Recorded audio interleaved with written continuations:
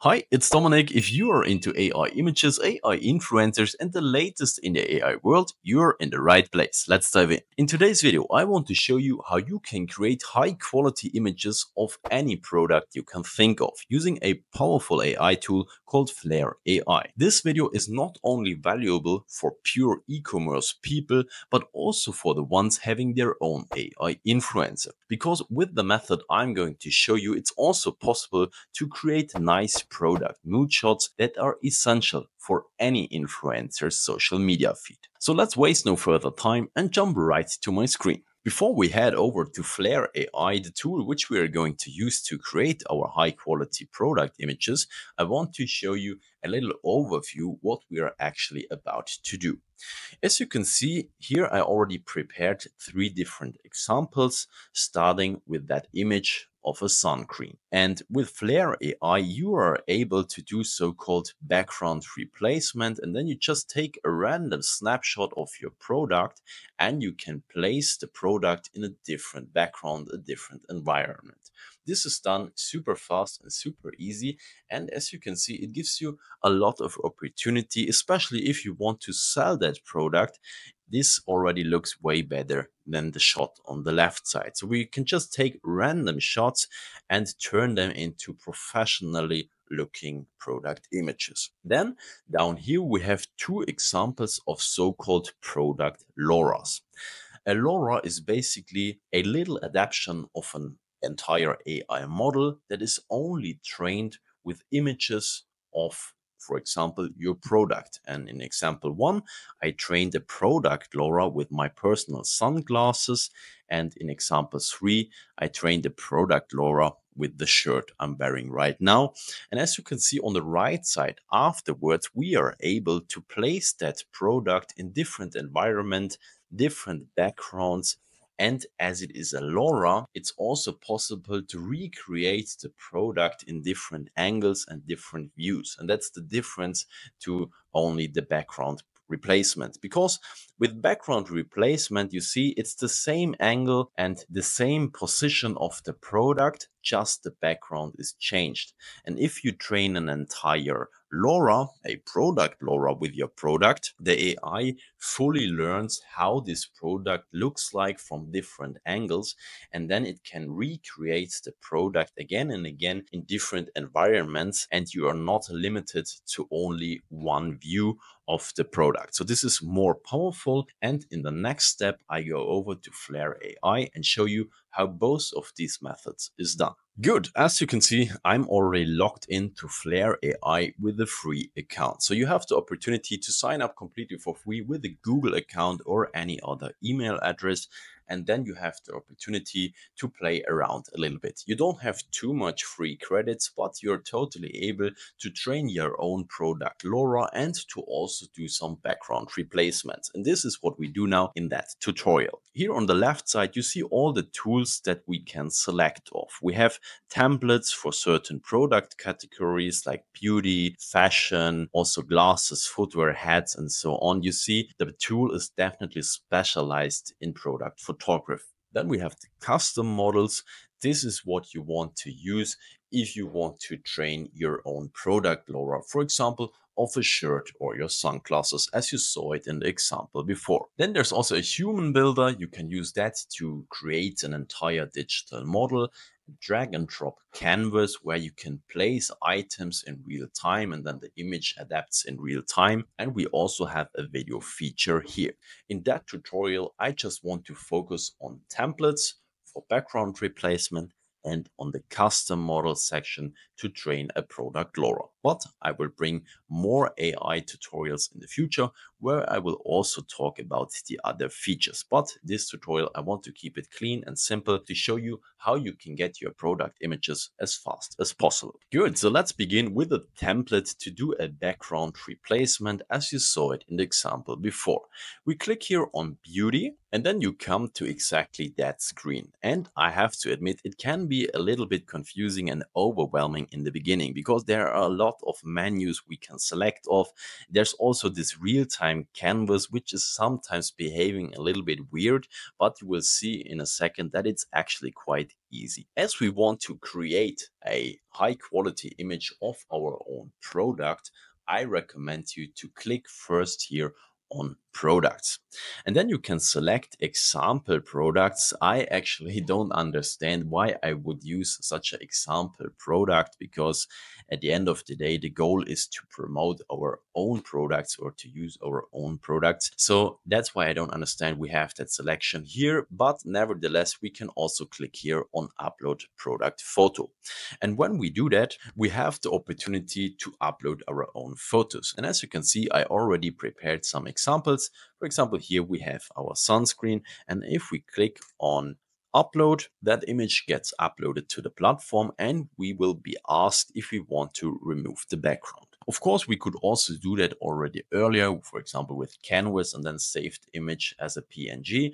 But as you can see, it also works totally fine with the JPEG. And then we can remove the background right here at the platform. I click here, remove, because I want the background to be removed. And then we have to describe our product. And here also the platform recommends to keep it very simple and just describe what you actually see in the image. For example, I went with a bottle of sunscreen. Super plain and simple.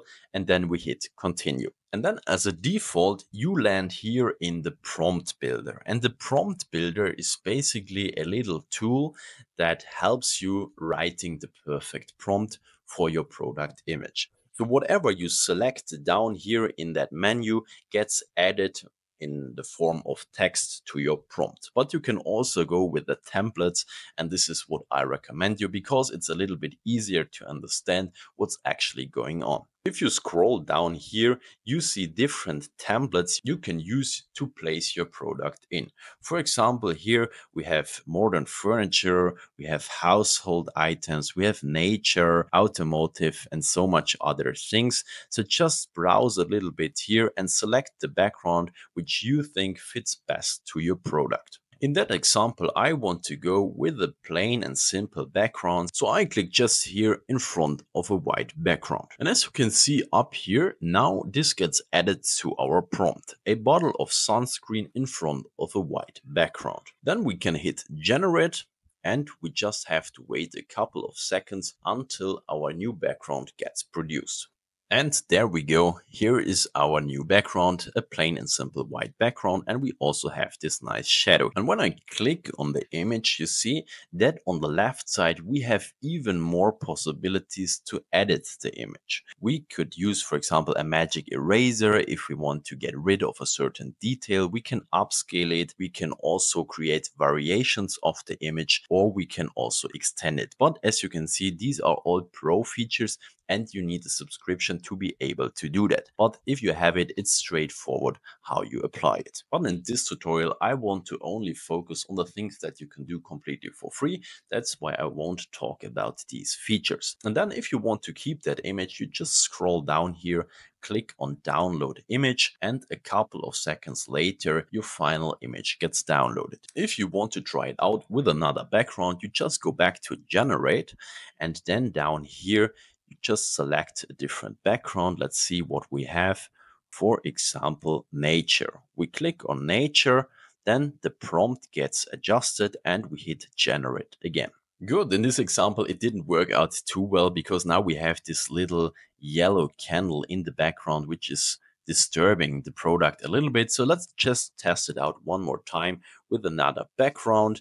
And in this example, let's see what we can use. Let's go with that one, the shelf. We click on it, the prompt gets adjusted one more time, we hit generate, and we wait for our third generation. Good, here on the right side we see the final image and this time it worked really really good because now it looks like our product, the sunscreen, is standing on a nice shelf in a modern bathroom with some flowers around. So this is a perfect result. And if we download it, we just go over here to edit and then down here to download image and then we can also download that one. That's it regarding the background replacement and now we will train our own product LoRa which is even more powerful as the background replacement because with that we have the opportunity to recreate our product again again also from different angles without always providing an input image of our product. Good. To be able to train our product LoRa we go up here to back to projects so that we come to the starting screen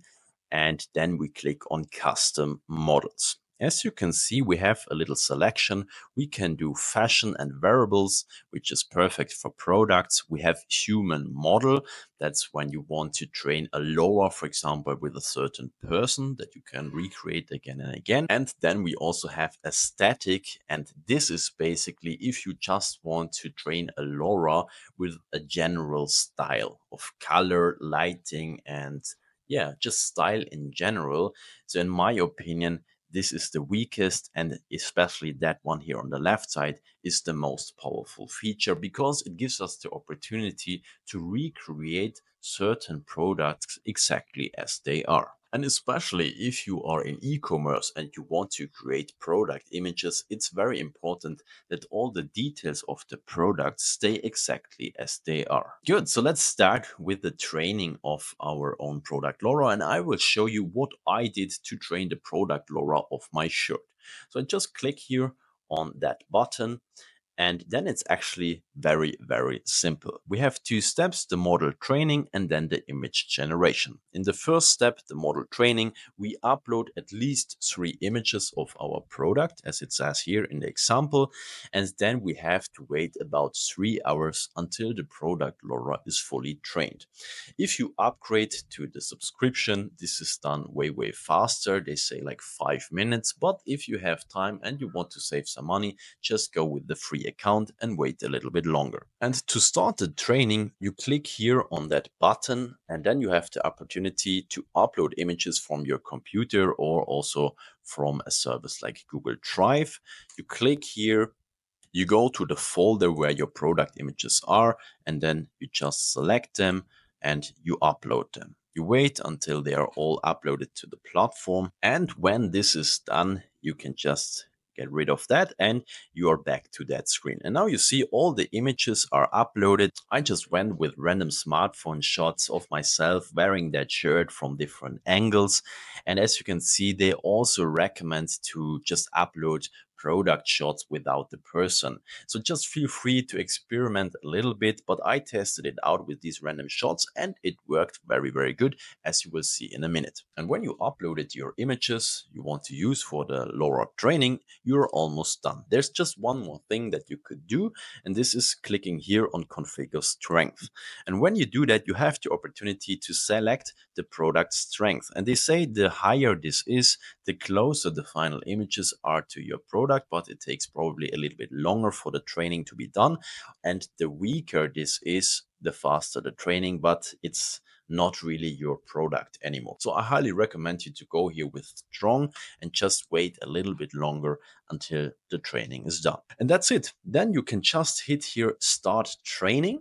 And when you do that, you have to wait for about two to three hours. You get an email when it is done, and then you can go over to the next step the image generation. As I already trained my own LoRa with exactly these six images, I won't start the training again and I just go over to the image generation and show you what you do next after you finished your training. Good. When your training is done after two or three hours, your screen should look like that. Down here, you see a little button that says succeeded, and then you can generate images of your product. And you do that by just clicking here on image generation, the second step. And then you have a prompt here. And as you know it already from the background replacement feature, you also have the possibility to select different background templates. And if you have the pro subscription, you can even select more settings such as the aspect ratio or the number of images you generate and so much more. And you have even a more powerful editor and you have the possibility to also change, for example, the hair and so much more. But for now, I want to keep it to the free features and just show you how you can now use your own product LoRa to recreate that product in that example the shirt again and again in different environments so let's just check out here all the backgrounds available and let's see what we do. You see, we have this classical e-commerce backgrounds with a plain white or gray background. We have some nature, we have some outside images like the mountains or a cafe or here in the desert. Yeah, let's just see what we will do. Let's do that city background. That looks cool. And when we click on it, you see the prompt gets adjusted and loaded. And then we can just hit here generate. Then we have to wait a couple of seconds and hopefully we get my shirt now in this nice looking downtown background. Good. You see the final result. We got two images and I think especially the one here on the left side turned out very, very good. I think this looks exactly like I look and especially the shirt is also impressingly accurate. So this could easily be used for uh, e-commerce, commercial, or if you want to for example, promote that shirt on your social media channel or any other use case where you need an accurate image of your product. This also turned out quite well, but here I don't like the shirts too much because the stripes are a little bit different as they are in reality. Down here you see all the other examples I created and I think overall we can agree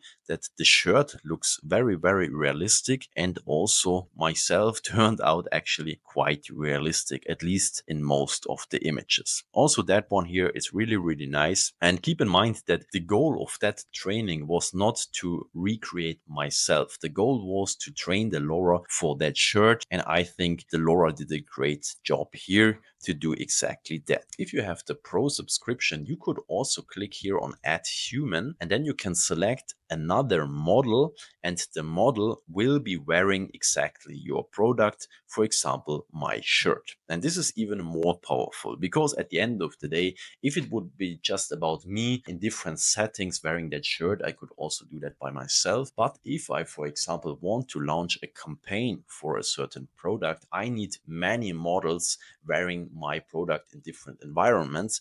And then this feature is very, very powerful. Good. That's it regarding the product LoRa training. And now I want to just sum it up one more time. We have the background replacement. There you just upload a snapshot of any product and then you can replace the background with any other template provided by Flair AI. Or we have the more complex solution, the product LoRa training. There you upload at least three images of different angles of your product and after two to three hours you receive your own product LoRa and then you can recreate that product in different environments and different angles again and again. So these are the two options. And keep in mind, as I told you in the beginning, this is not only valuable if you have an e-commerce shop, but also for people who have, for example, their own AI influencer. Because as you might know it from famous influencers, oftentimes these influencers just post nice looking nude images of products, for example, nice placed on a bed or their beauty routine with some beauty products and so on.